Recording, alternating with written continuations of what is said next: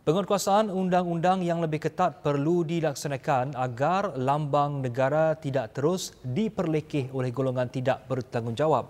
Pakar Perlembagaan Universiti Islam Antarabangsa Malaysia UIM, Profesor Madya Dr. Syam Rahayu Abdul Aziz berkata, penambahbaikan undang-undang sedia ada perlu dibuat supaya hukumannya lebih setimpal dan relevan dengan keadaan semasa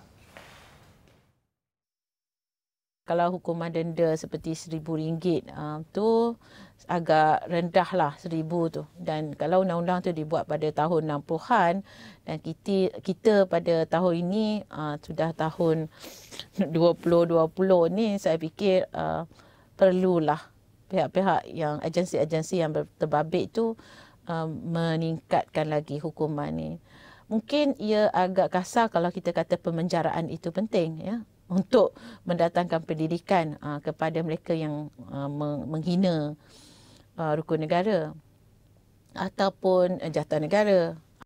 Tegasnya berdasarkan Akta 414 iaitu Akta Lambang dan Nama 1963, kesalahan menggunakan nama dan lambang kerajaan dengan tidak wajar hanya memperuntukkan hukuman denda sebanyak tidak lebih RM1,000.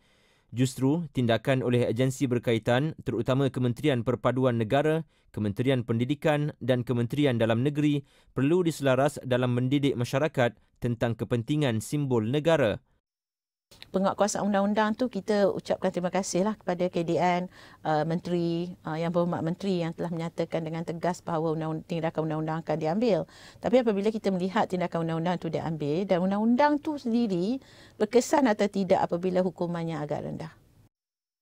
Tambahnya simbol negara merupakan lambang kedaulatan sesebuah negara yang perlu dipertahankan dan penggunaannya secara tidak wajar boleh menyebabkan isu perkauman yang lebih besar. Justru katanya, kejahilan tentang undang-undang bukan alasan kepada mana-mana individu untuk menghina lambang negara dan penggunaannya oleh orang awam perlu mendapatkan kebenaran daripada kerajaan bagi sebarang tujuan.